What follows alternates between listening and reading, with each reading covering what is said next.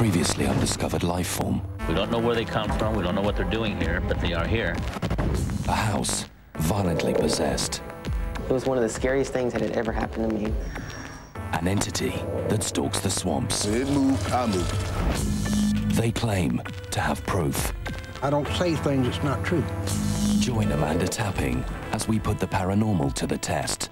Proof positive, tomorrow 9 p.m. on Sky One.